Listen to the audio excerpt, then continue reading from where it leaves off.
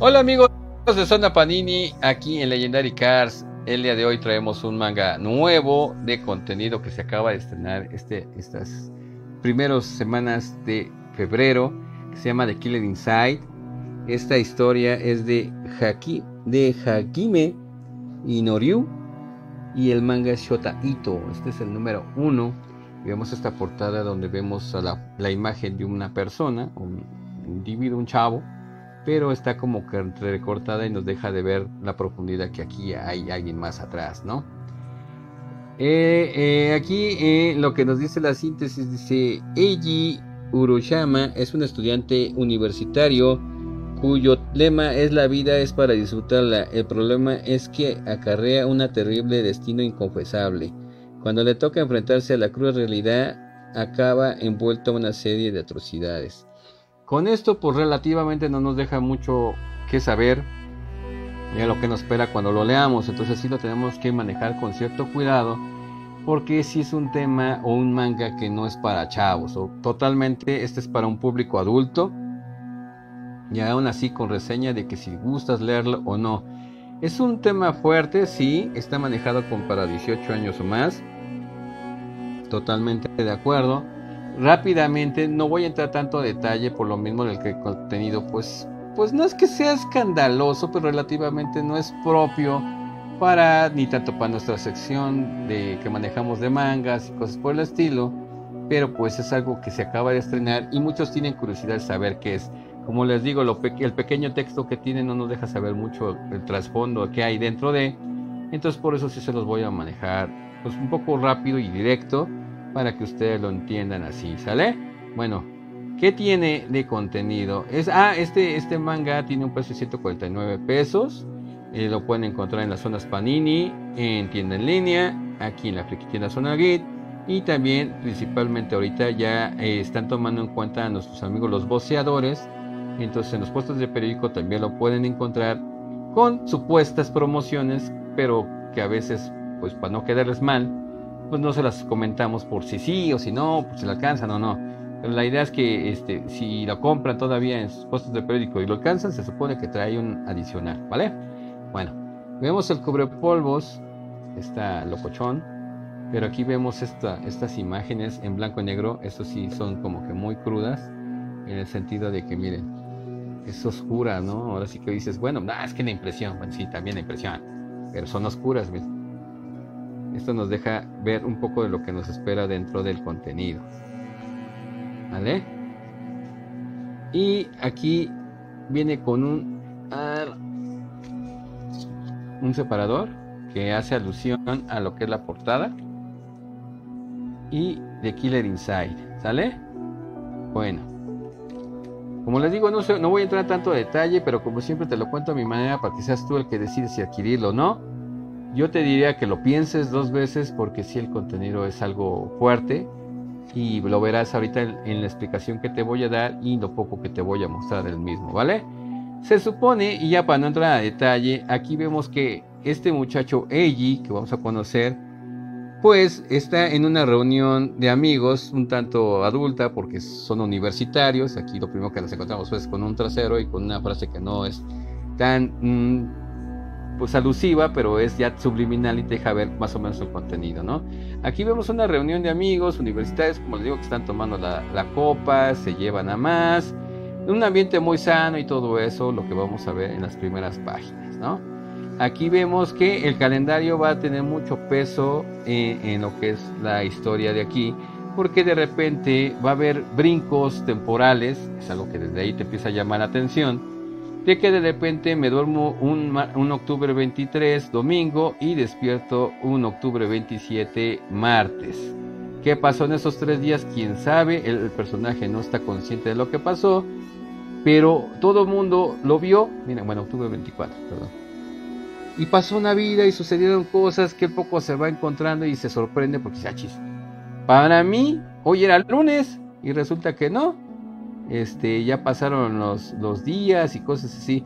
De la nada se encuentra con una chica durmiendo en su propia habitación con él. Es una chica guapísima. Después sabemos que la, una de las, inclusive se conocía como la Miss Universidad, o sea, la, chica más famosa y reconocida de la universidad y fue candidata a ser Miss Uni, algo así dicen, representativa de Suecia. Entonces aquí podemos ver el dibujo, pues y obviamente nos va a dejar ver escenas pues locochonas y cosas por el estilo. Pero aquí la cosa es que este chavo se despierta de la nada y amanece junto a esta chica que resulta que ahora ya es su novia. Y dice, ¿cómo? Para empezar, ¿cómo logré que ella, para empezar, me hablara, ¿no? Y luego que termina siendo mi novia. Y para colmo, está durmiendo conmigo. Ajá. Entonces empiezan a haber ciertos sucesos que él mismo no se explica. Él trata de seguir el ritmo, de que dice, ay, ¿cuándo te acuerdas que pasó esto? Y dice, no, sí, sí, sí, sí, me acuerdo, claro que sí. Les empieza a dar el avión a los demás, pero este, relativamente él no sabe. Para colmo y desgracia de todo esto, este chavo tiene un problema. Y es ahí donde empezamos con eh, los temas fuertes de este manga que nos vamos a encontrar. Él es hijo de un asesino, un asesino pero maníaco, eh, pues de los asesinos más cañones que existieron. Lo, lo, llamaban doble L o L, como lo quieran llamar. Entonces, pero era uno de los, realmente de esos asesinos que no tienen piedad, descuartizaba a sus víctimas, las desmembraba, les hacía un chorro de cosas, por eso digo que, que sí, aquí tiende mucho a la violencia y cosas por el estilo. Entonces dices, bueno, ¿eso va a abarcar mucho la historia? Sí. Segunda, él es hijo de ese asesino. Entonces, durante eh, su crecimiento, desde que fue niño, fue marcado por sus vecinos, por la gente que lo conocía y les hacía la vida miserable y cosas por el estilo, ¿vale? Vamos a empezar a aplicar cositas porque ya empieza a ver cosas que se debe ver. Para empezar, nos deja ver qué tanto ha cambiado, porque en estos tiempos, que estos días que no recuerda nada, se encuentra con este individuo que se ve feo, tosco y loco. Este se supone que era un cuate que es de la universidad, pero tiene sometidos y aterrados a varios universitarios, estudiantes, porque les hace cosas, los tiene amenazados, cosas así, y pertenece aparte a una banda muy fuerte y todo eso, pero de la nada vemos que se le cuadra, él le tiene miedo porque pues le habla, y se le cuadra y le dice, ah, perdón, eres tú y la tostada, y resulta que este eh, tiene el ojo así porque él se lo dejó, entonces ahí está sus amigos le dicen, ay, ¿a poco no te acuerdas? Y tú lo dejaste así y acá, y se supone que eso pasó por salvar a la chica, este cuate la estaba molestando, él se, se dio cuenta, también aquí está, ahí muestra la mano, donde está todo lo que le agarró a trancazos y el golpe que le dio. Aquí para sus amigos este es un héroe. Obviamente por eso la chica se enamoró de él porque la salvó, no le tuvo miedo a este cuat y cosas por el estilo, ¿vale? Entonces aquí, este, pues como les digo, va a ser muy poquito lo que les voy a mostrar, pero eso es lo que va a estar transcurriendo. Van a ir apareciendo personajes, por ejemplo, un periodista freelance, de esos que son de la nota amarilla, de donde se empieza a encontrar con él y con él, como está pasando ciertas cosas, pues eh, vuelve a aparecer y dice, ah, qué curioso, ¿no? Que el modus operando de lo que está sucediendo se parece mucho a lo que pasó hace 15 años. Y que qué raro que tú tengas que ver y que tú aparezcas aquí en esta zona. ¿No será que aquí? Me empiezan a culpar de cosas, el mismo se saca de onda. Llegan agentes del FBI a investigar porque no hace mucho hay, eh, encontraron el cuerpo de una chica abandonado en un lote con todas las características que el asesino de ese entonces, en este caso pues ya le llamamos directamente su papá, hacía. Entonces dice, pues ¿cómo es posible? no Entonces empieza a ver esa prerrogativa. Aquí vemos cómo juega el calendario, como les digo, donde empiezan a brincar los días y quiere llenar esos vacíos. Personas que antes no le hablaban, ahora le hablan. Eh, gente que no conocía de repente ya son sus amigos. Les digo, esta chica está súper enamoradísima de él. Eh, aquí aparece esta otra muchacha que nunca hablaba y nunca le decía nada y ella misma dice, no, pues es que no más cuando tengo algo que decir, te hablaré. Pero resulta que se bombeteó su amiga y es extraño para él. Y dice, yo conozco todo lo que está pasando y qué raro que tú no te des cuenta. Entonces ella sí se da cuenta de esos brincos, estos vacíos que él tiene y trata de ver, ¿no? Pues aquí es eh, lo máximo que yo creo que les voy a enseñar, precisamente por eso. Entonces aquí lo que nos vamos a encontrar es con pues recreaciones de esos asesinatos. Vamos a ver mucho involucrado a este muchacho. La violencia que nos muestran, tanto en ilustraciones como en, la trama, en la lectura, es muy fuerte. Por eso les digo que sí es de contemplar si realmente van a ser ustedes seguidores de esta historia. ¿Qué te puedo decir yo que ya la leí? Pues si te atrapa, está interesante, pues ya lo vemos del lado suspenso, thriller y cosas por el estilo, así detectivescas, pues sí te va a atrapar y sí te va a dejar con ganas de saber más. Eh, eh, acontecimientos eh, mentales donde pues la psicología y todo eso empieza a tener un punto base.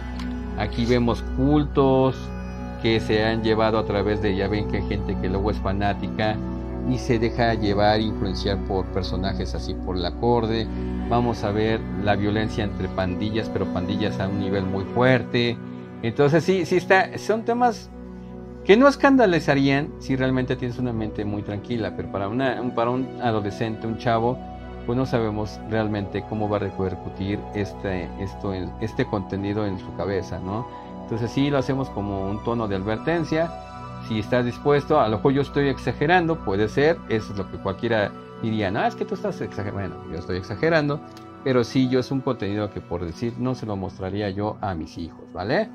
Entonces ustedes considérenlo y si ustedes tienen la cabeza y quieren entrar y leerlo, pues adelante yo los invito, pero pues véanlo de esa manera como suspenso, como thriller, como una película y tratar de investigar qué es lo que está pasando y cosillas por el asunto y obviamente las escenas que pasan dentro de, pues sí deben de tomarlas que lo adulto para que no se sorprenda inclusive la imagen de las cosas que van saliendo, ¿vale?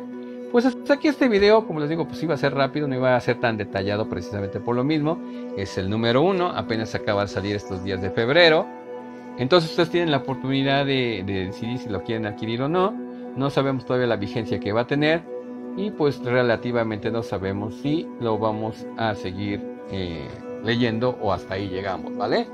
Entonces, pues como siempre leemos sus comentarios, eh, esperamos a ver qué nos dicen y ya saben que lo pueden adquirir en tiendas en línea, en las Panini Points o actualmente en los puestos de periódico, ¿vale?